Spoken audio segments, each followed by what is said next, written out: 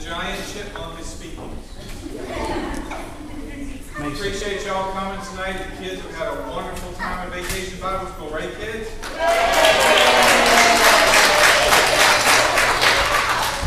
And so tonight they're going to present their program to you, and right after that we have chicken and all kinds of food back here in the fellowship hall. Would you stay and eat with us? And let's see. Let's open up in prayer, we'll get started. Lord, I thank you so much for this day you've given us, and we thank you for Vacation Bible School.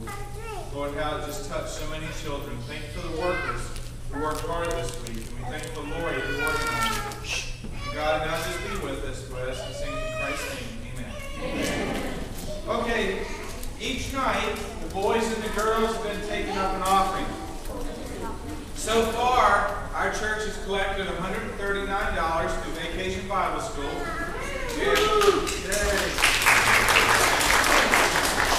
And it's all going to the free clinic. So we're going to take a check for them. Now, the boys, the boys are about, oh, $40 behind the girls. And the girls have really been rubbing it in this week. If I have to say it myself. So what we normally do is we get a boy and a girl. Up. And the boy takes up the boy offering and the girl takes up the girl offering. So where's Miss Lori?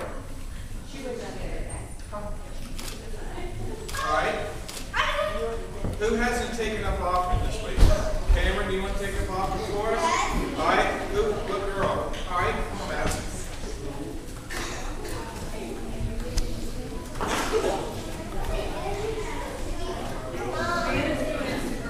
Oh, I just picked Madison. Maybe they both can do it. There's another basket in my office. All right. Okay, and count, so he's going to be shaking down the men, and she's going to be shaking down the women as well as the children. So let's go ahead and start the offering. Make sure if you're a boy, just go see boys Cameron and men.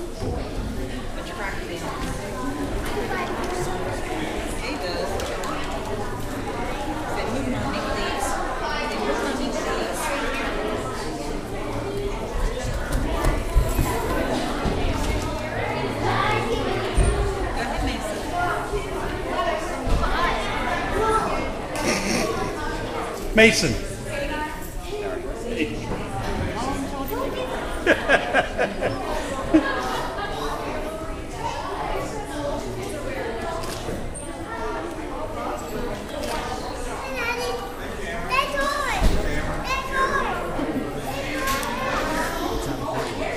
Come on, Mason. Come back to your mama.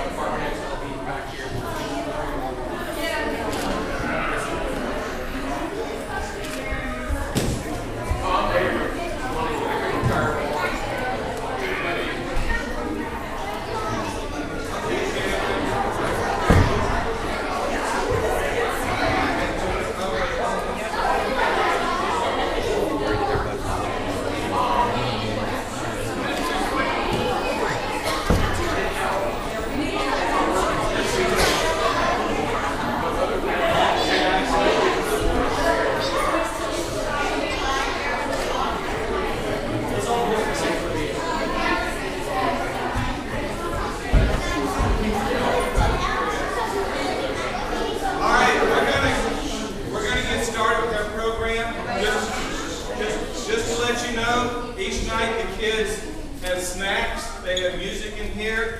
They have crafts, which some of the crafts are back there on the tables. They also had Bible stories with Miss Faye and Miss Diane, where they dressed up every night, and it was wonderful. Kids really, really enjoyed it. So this time, I'm gonna turn it over to my sister Shirley, and we'll get the program started.